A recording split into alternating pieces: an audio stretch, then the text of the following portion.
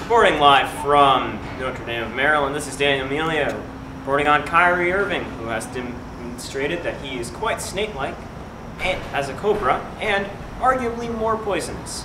Now, you may recall that just two summers ago now, Kyrie Irving was traded from the Cleveland Cavaliers to the Boston Celtics in exchange for Isaiah Thomas, Jae Crowder, Ante Zizic, and a second-round pick. Since then, Irving has gotten injured on a Celtics team, which then went to the conference finals without him, came back, criticized younger players for not showing leadership in, to the media openly, and they went to only the conference semifinals and then lost.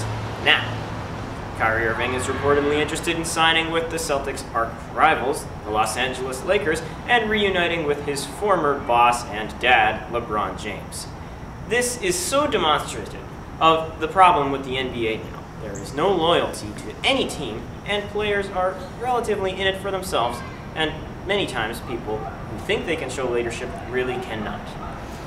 Once again, Kyrie Irving shows that he is, though an extremely talented player, a subpar leader. Certainly, his endeavors with the Los Angeles Lakers, if he chooses to sign there, will be inevitably unsuccessful. We're reporting live from Sports Broadcasting Camp at Notre Dame, Maryland, this is Daniel Mealy.